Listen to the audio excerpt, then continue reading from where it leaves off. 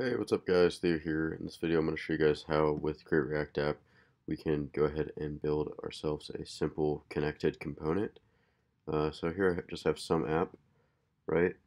Um, so let's go ahead and get started. I'm just going to make a dashboard component and I'm going to use um, React functional component right here. Use that snippet. And this is just going to be a dashboard component, so I'm going to change this a little bit just to be called dashboard. And let me just export it as the default dashboard. Okay, cool.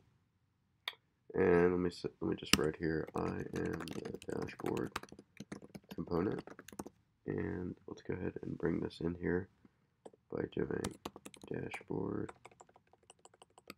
dashboard Cool, it's already in there. And dashboard component. Nice. Um, so this should be pretty quick. Basically, I just have this file here called connect. And again, it's in the same level. Let's sort of show you here. It is in the same level as my app and dashboard. So basically, I'm going to mock here like a private variable store. And I'm just going to give this some data, right? So I can have users. And we will copy that a few times. Or sorry. Copy that a few times. Right? And we'll just make some users. So just say name Theo, ID 1, name John, ID 5, name Rick, and ID 10. So this is really, really basic right? So we're just sort of pretending that this is a private store. Um, cool. So, and we're not exporting it, right? So we're not going to get access to it. So now I'm going to export a function here called connect. Um, and basically, this is a function that takes in a component and it also takes in map state props and map dispatch to props. So cool. So now what we can do right here, this is super easy guys. Return class connected. This is just my implementation. Extends react component. Make sure bring back in React right here. Cool. Um, now, I'm just going to return. I'm going to return the component. And I'm going to return dot props. I'm going to spread map state to props, passing in the store, and I'm going to pass in map dispatch to props with the store. Cool. So now let me go ahead and wrap my component in here. I'm going to say connect. I want to connect the dashboard. Let me go ahead and import connect from connect. And now let's go ahead and wire this up. So it does not contain export. Sorry, that's the default. Alright. Cool. So you notice map state to props is not a function, so let's just give this two default functions for now. Right. Cool. So now if we look in here, we can sort of see we have this higher order component and we have a dashboard. Nowhere to be found is the store again, the private variable. Um, and this works the same way, right? Let's add some props onto here. So I'm just going to give uh, dashboard some props name dashboard component, right? And so now if we look again at dashboard, it's got this name component, all right? And so we can sort of see props.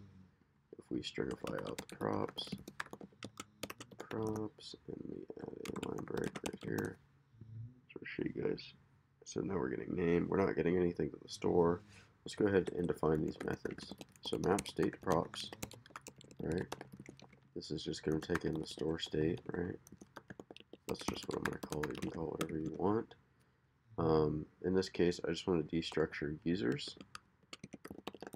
And all I want to do is just return users. Cool. Alright, so uh, map state props, let me go ahead and switch this out and sort of see what we're getting now. So we're getting users back from the store. So that's kind of cool. It's connected and it's passing our users, it's spreading our props, and it's giving us the store props. Um, and finally, let's look at map dispatch props. This is kind of cool, right? So we can have, say if I didn't want to give it access to the users, but I wanted methods, something like that, or I wanted to just have on methods that sort of build on state within our store, I can I can do something like this. I can take users, right, and or or maybe just to demonstrate this a little bit more, I can do like uh, not users, maybe products, right? We can do the same thing, same name, Xbox 360, ID 5, and name, GameCube, ID is 10, right? So we have these collections. I don't want to give it access to that, but I can do this, right? It's like products, and I can return here this object with get product, takes an ID. This is products dot find p where p dot id is equal to id. All right, so that should work. Uh, let me swap this out real quick. Map dispatch props. Let me clean this up a little bit.